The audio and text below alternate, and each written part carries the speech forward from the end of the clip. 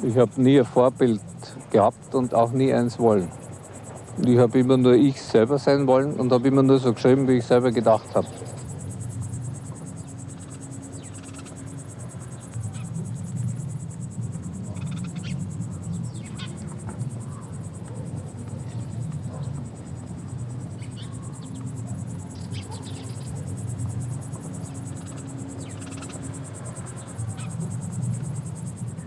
Mallorca interessiert mich an und für sich gar nicht. Und das ist ein Land, eine Insel, die wir daheim auch. Das ist die Atmosphäre der Stadt, der Hafen, das Meer, was ich brauche zum Arbeiten. Und arbeiten kann ich nur dort, wo es mir klimatisch zuträglich ist und hier habe ich beides. Nicht? Die Möglichkeit, meine Lunge zu versorgen und mit meinem Hirn zu machen, was dem auch entspricht, was damit zu machen ist. Und meine Aufgabe vor mir selber und vor niemandem anderen ist irgendwie, was zu Wege zu bringen aus dem Kopf. Und das heißt, Bücher zu schreiben oder halt Sätze aneinander zu reihen, Gedanken. Und die kommen hier halt besser als oben. Nicht? Wenn es mir in Österreich den Hals zuschnitt, dann fahre ich halt da herunter und das ist ideal.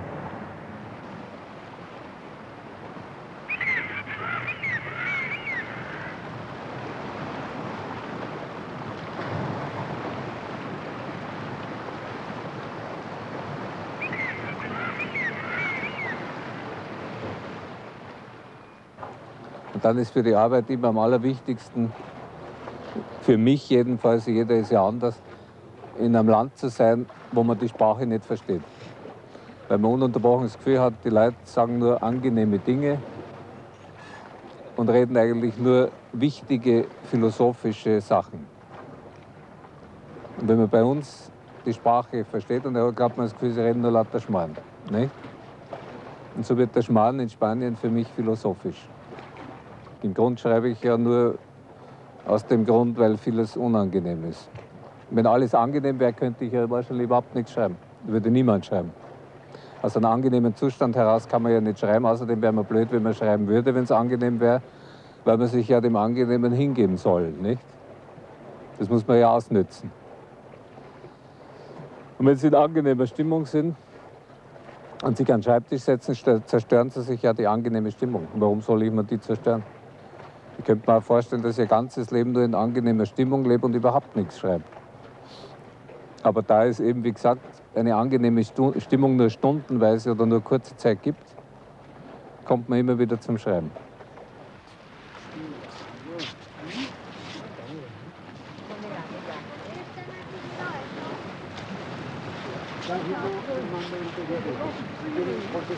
Und die Wut gegen die Mitmenschen braucht man sich auch nicht sagen, weil sie einem ja die meiste Zeit lästig sind.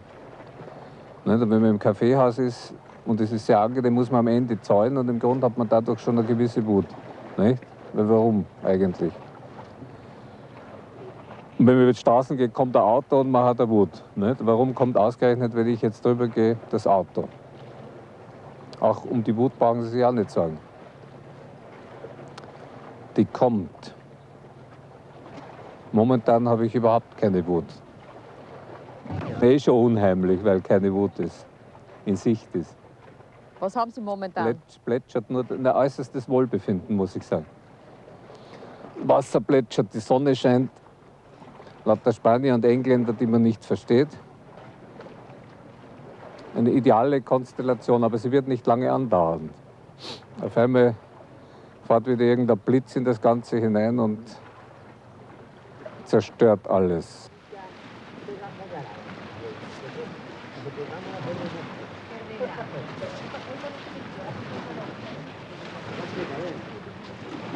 Eine völlig normale Einstellung zu leben, wie alle anderen normalen Menschen auch wahrscheinlich.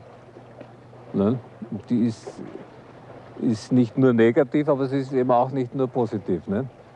Denn man begegnet ja ununterbrochen allem. Das macht ja das Leben aus. Nicht nur negativ, das gibt es ja gar nicht. Das ist ja Blödsinn. Aber es gibt sicher Leute, die wollen das halt so sehen. Es ist ja sehr bequem, dass man sagt, der ist, der ist ein Narr, nicht? Und jetzt ist zeitlebens ist er ein Narr, nicht? Der wird immer nur als Narr bezeichnet, bis er stirbt. Und der andere ist ein, ein lyrisch äh, exaltierter Schriftsteller von seinen 20er Jahren an und die bleibt er dann auch, bis er stirbt. Und davon gehen die Kritiker und die Leute, mit denen man zu tun hat, überhaupt nicht mehr ab. Und einer schreibt irgendeine Kaschballade, ob blöd oder nicht, ist ja wieder eine andere Frage oder gar keine Frage. Und der bleibt lebenslänglich ein Kasperl. Und ich bin wahrscheinlich lebenslänglich der negative Schriftsteller. Aber ich muss sagen, ich fühle mich in der Rolle ganz wohl, weil sie mich gar nicht irritiert. Weil die Leute sagen, ich bin ein negativer Schriftsteller und ich bin aber gleichzeitig ein positiver Mensch. Also kann mir ja nichts passieren, nicht? Oder? Ist es ein gefährlicher Zustand? Ich weiß nicht. Ich finde alles sehr angenehm. Vor allem, wenn ich weit weg bin von daheim.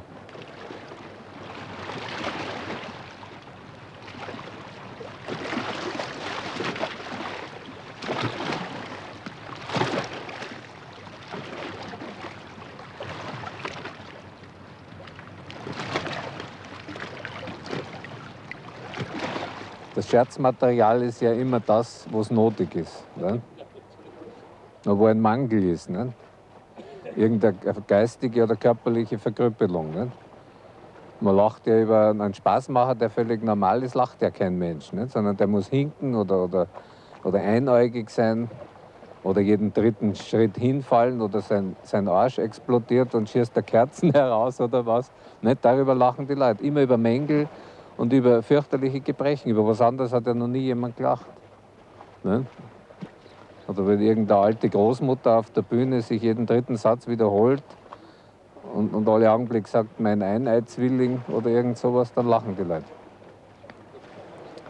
Nicht? Aber über völlig normal, sogenanntes Normales hat ja noch nie jemand auf der Welt gelacht.